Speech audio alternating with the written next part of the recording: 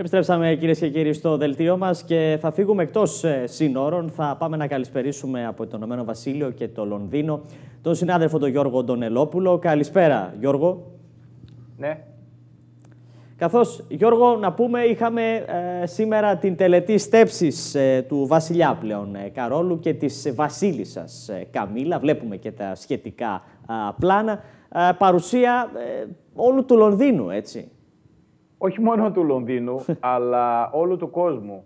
Φαντάσου ότι περίπου 300 εκατομμύρια υπολογίζονται αυτοί που μέσα από τους τηλεοπτικούς δέκτες όλων των καναλιών που έπαιζαν live την ε, στέψη του Καρόλου, αλλά 2 εκατομμύρια υπολογίζονταν αυτοί οι οποίοι βρίσκονταν στους δρόμους του Λονδίνου και παρακολούθησαν είτε από διάφορα σημεία έξω από το αβαΐο του Westminster ή έξω από τα ανάκτορα του Buckingham, αλλά και σε πολλά ξενοδοχεία εστιατόρια που είχαν στηριχθεί σε διάφορα μέρη διάφορες γιγαντοοθόνες για να παρακολουθήσουν live αυτό το ε, ομολογουμένως εντυπωσιακό θέαμα.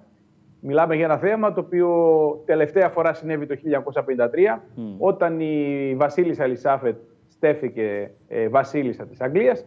Μετά από 70 χρόνια τόσα περίμενε ο Κάρλος για να γίνει βασιλιάς, ο 31ος στη σειρά στα τελευταία χίλια χρόνια της ιστορίας της βασιλείας του Ηνωμένου Βασιλείου, της κοινοπολιτείας ουσιαστικά, γιατί είναι βασιλιάς πολλών άλλων κρατών.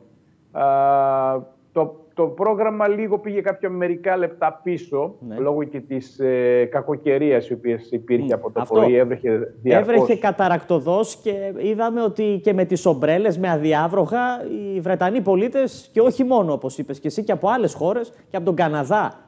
Καναδά, Αυστραλία, Αμερική, α, Ινδία.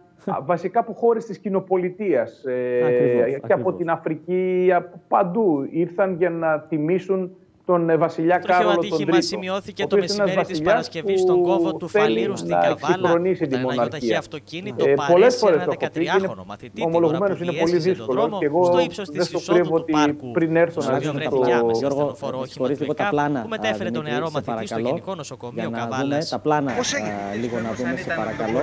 Λοιπόν, ναι, Γιώργο, σε ακούω. Ομολογουμένως έλεγα ότι και εγώ πριν έρθω στο Λονδίνο, πριν έρθω στο Ηνωμένο Βασίλειο, ε, είχα πολύ διαφορετική άποψη για το τι μπορεί να σημαίνει η βασιλεία. Ε, η, καταρχάς, η βασιλεία όπως την εννοούμε εμείς στην Ελλάδα, με τη βασιλεία που την εννοούμε εδώ στο Ηνωμένο Βασίλειο, πολύ διαφορετικά. Δεν έχει καμία σχέση και είναι μια άλλη κουβέντα η οποία χρειάζεται ώρες για να την αναλύσουμε. Εδώ το brand βασιλιάς είναι κάτι το οποίο πουλάει και δεν είναι μόνο ε, πολλές φορές που ακούμε τα έξοδα που γίνονται και τα πληρώνει ο λαός και όλα αυτά. Mm. Ε, σαφώς γίνονται έξοδα, όμως υπάρχουν και έσοδα. Φαντάσου ότι όλοι μένουν στο γεγονός ότι ξοδεύτηκαν 114 εκατομμύρια για όλο αυτό το υπερθέαμα. Σίγουρα χρήματα πάρα πολλά. Όμως τα δισεκατομμύρια που θα έρθουν και έχουν έρθει είναι όπως καταλαβαίνεις υπερδιπλάσια. Γύρω στα 7 εκατομμύρια υπολογίζεται ότι ήταν οι άνθρωποι που ήρθαν και ταξίδευσαν τα μήκη και πλάτη του, του πλανήτη για να έρθουν να παρακολουθήσουν, να μείνουν στο, στο Λονδίνο, να παρακολουθήσουν όλη αυτή την εκδήλωση και φυσικά τα χρήματα τα οποία ε, θα δαπανηθούν είναι πάρα πολλά. Γιατί οι άνθρωποι έρχονται, μένουν, τρώνε, ψωνίζουν ε, και είναι άνθρωποι, όπως καταλαβαίνεις, με μεγάλη οικονομική ευχέρεια. Ε, αυτό άλλωστε θα φανεί και θα αποτυπωθεί ακόμη καθαρά όταν η Στατιστική Υπηρεσία του Ηνωμένου Βασιλείου θα δώσει στοιχεία της ανάπτυξης της χώρας για τον μήνα ε, Μάιο. Εκεί θα φανεί ε, σε σχέση με τον Απρίλιο που υπήρχε μια αύξηση ελάχιστη του, της τάξης του 0,1 πυροελάχιστη, πόσο μεγάλη ήταν η συνεισφορά στην οικονομία της, ε, του Ηνωμένου Βασιλείου. Από εκεί και πέρα, είναι ξεκάθαρο το μήνυμα με αυτά που είδαμε σήμερα, σημειολογικά και, μπορού, και μπορούντας να ε, τα δούμε πιο ξεκάθαρα ναι. ότι ο Κάρλος ξέρει ότι η Βασιλεία πρέπει να εξυγχρονιστεί. Δεν μπορεί, όπως η μητέρα του, η Ελισάβετ, να κυβερνήσει. Γι' αυτό και άλλωστε είχαμε και τόσες καινοτομίες στην όλη διαδικασία. Η διαδικασία έγινε πιο οικονομική, πιο ε, μικρή. Μπήκανε καινούργια στοιχεία η πολιτισμικότητα του Ηνωμένου Βασιλείου. Είδαμε ε, εκπροσώπους για πρώτη φορά όλων των λαών και των ε, πολιτισμών και των θρησκειών να συμμετέχουν ε, και να είναι μέρος της τελετής.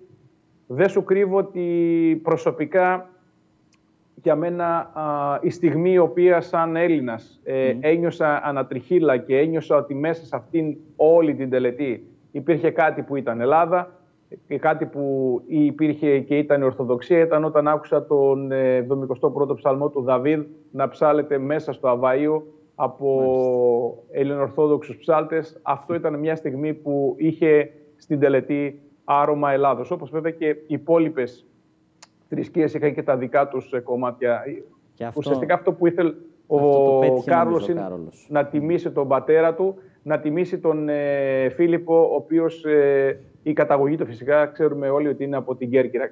Άλλωστε, σημειολογικά και ουσιαστικά, κατά ένα τέταρτο, ο Κάρλος είναι Έλληνας. Και είναι ο άνθρωπος που κρατάει στενές σχέσεις με την Ελλάδα, έχει έρθει πολλές φορές ιδιωτικά, έχει πάει στο Αγίο Όρος σε σχέση με την Βασίλισσα Ελισάβετ που ποτέ δεν είχε έρθει στην Ελλάδα.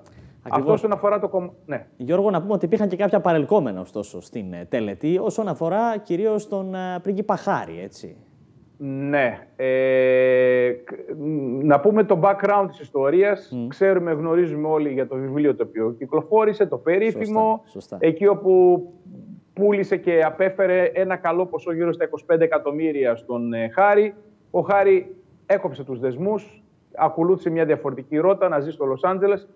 Όμως το παιδί είναι παιδί και ο πατέρας είναι πατέρας. Και ο Κάρος λοιπόν αποφάσισε να ρίξει μια γέφυρα, α, μια γέφυρα συγχώρεσης και ζήτησε από τον Χάρη να ταξιδέψει στην ε, δική του ε, ενθρόνηση. Μάλιστα, οι πληροφορίες από τα Βρετανικά μέσα μαζικής ενημέρωσης αναφέρουν ότι του είπε χαρακτηριστικά: Παιδί μου, σε θέλω κοντά μου.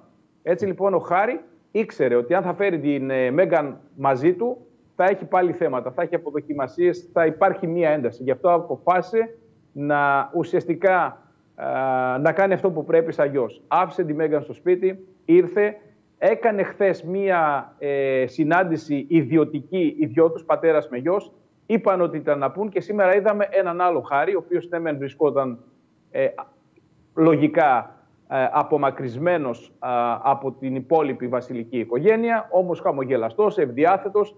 Είναι χαρακτηριστικό το πλάνο του σκηνοθέτη που δείχνει τον ε, Χάρη να βρίσκεται έξω στην ε, είσοδο ε, και βλέποντας τον πατέρα του σαν νέο βασιλιά να είναι μέσα στην άμαξα. Πολλές φορές ο σκηνοθέτης, ο Άγγλος σκηνοθέτης, έμενε σε αυτό το πλάνο γιατί ήταν το πλάνο το πολύ σημαντικό.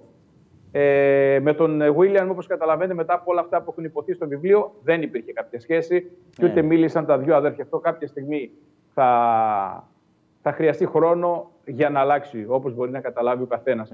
Όμως σίγουρα ήταν μια θετική α, εξέλιξη ο ερχομός του Χάρη, ο οποίος θα φύγει αμέσως για το Λος Άντελ. Και επίσης κάτι άλλο που mm. πολλοί σου να μην το πρόσεξαν. Αρχικά ε, είχε αποφασιστεί ο Χάρη να καθίσει στις τελευταίες σειρές ε, μέσα στο Αβαΐο, όμως με εντολή του ίδιου του Κάρλου κάτσε τελικά τρίτη σειρά ακριβώς πίσω από την ε, οικογένεια. Που αυτό ήταν ουσιαστικά ότι ε, και οι δυο τους κάνουν προσπάθειες, Κάρολος και Χάρη, να βρεθούν όλο και πιο κοντά. Δείχνοντας ότι σιγά σιγά ε, προσπαθούν να βρουν μία μέση οδό για να βελτιωθούν, δεν θα πω να τα ξαναφτιάξουν, να βελτιωθούν οι σχέσεις τους. Οι σχέσεις τους, ακριβώς. Λοιπόν, αναμένουμε τώρα, Γιώργο, και ε, φυσικά το τα Δεν είπαμε από πλευρά Ελλήνων ναι. ποιοι παραβρέθηκαν εντάχει. Η ναι. πρώτη Δημοκρατία, κυρία Σεκελόρ. Και φυσικά η... ο, εννοείται ο γιος του Κωνσταντίνου ε, με τη σύζυγό του, mm. Παύλος. Ήταν από τους επίσημους προσκεκλημένους, άλλωστε είναι και συγγενείς, το ξέρουμε πολύ καλά.